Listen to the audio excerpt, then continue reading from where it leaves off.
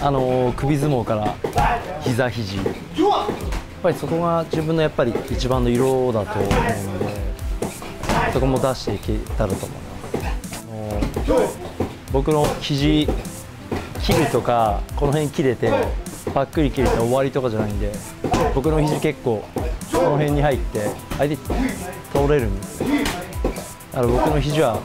切れるんじゃなくて倒す肘もできるんでの辺も期待してもらいたいです。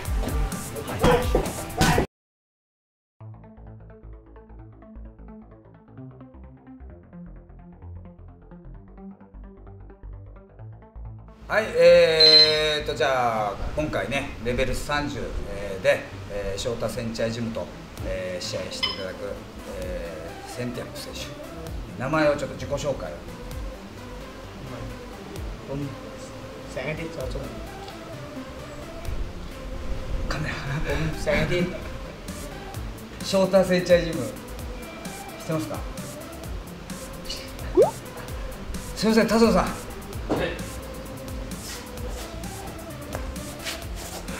相手バリバリ日本記者ですか。ルチャはい。ルチャク。知らないです。日本やるんじゃったね何 ยี่สิบแปดจะรู้จักกัน ななんですかルーチャック俺もわかんないです CI ยี่สิบแปดเกมยี่สิบแปด 実態何で勝ちますか何パンチか肘か膝かミドルか KO はあら คนไทยนอกคนญี่ปุ่น うん ไม่ยาก まあいやうんはいあれそれ質問と違うこと答えられちゃったんですけどそれさっき言った言葉でしょ何でチャンネル 荒い KO นอกนอกคนญี่ปุ่นไม่ยาก 荒いあ手 ชอบชอบ あそうはい得意技なんです得意技あ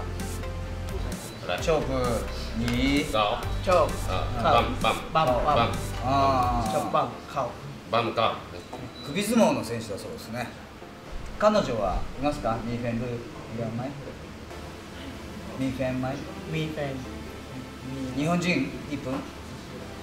え？え？ああ日本人の彼女は欲しくないの？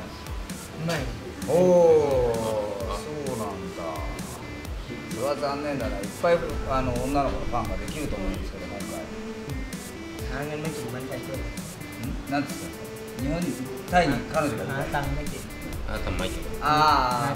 人間の夢だ人間の夢だ怒られちゃうね。怒られちゃう。あもう結婚してら転換だよ。いや前ですねあまだですねまだだけど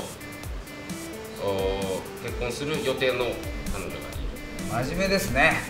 真面目なんですけどこれが2年後どうなってるかちょっと楽しみで追っかけたいですね多分ね今度女の子がいっぱい見に来てかっこいいってなると思うから ผมคนไทยนอกคนญี่ปุ่นไม่ยาก มันเตะเลยโย